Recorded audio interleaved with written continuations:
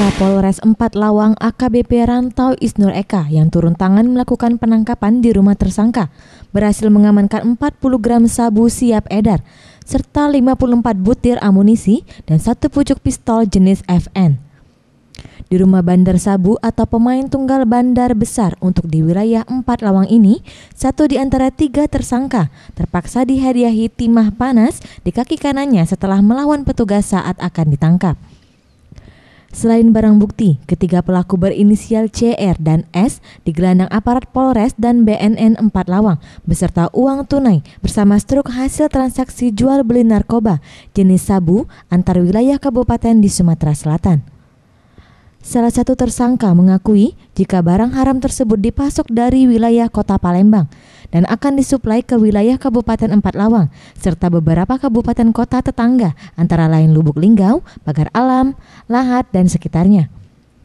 Menurut Kapolres Empat Lawang AKBP Rantau Isnur Eka, dalam satu bulan tersangka mendapat suplaian sebanyak 2 kg yang kemudian disebar untuk wilayah Kabupaten Empat Lawang dan Lubuk Linggau dan sekitarnya. Diduga mereka adalah sindikat bandar besar sabu antar kabupaten kota di Provinsi Sumatera Selatan. Mereka penangkapan penggerebekan notabene-nya bandar besar di Kabupaten Pakrawang yang selama ini tidak tersentuh. Uh, berapa banyak untuk barang bukti? Barang bukti kurang lebih 40 gram yang seharusnya kami terlambat menggerebek. Padahal tadi malam informasi akurat A1 masuk setengah kilo kurang lebih pukul 00.45 Selain sabu-sabu, apa lagi Pak? uh, kita mendapatkan senjata api jenis pistol yang masih aktif dengan jumlah peluru 54 butir 9 mili kalibernya. Untuk saat ini berapa tersangka sudah ditahan?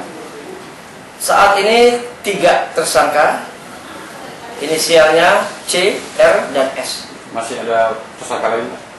Uh, nanti akan kita kembangkan dan kita kembangkan terus. Kifri Sriwijaya TV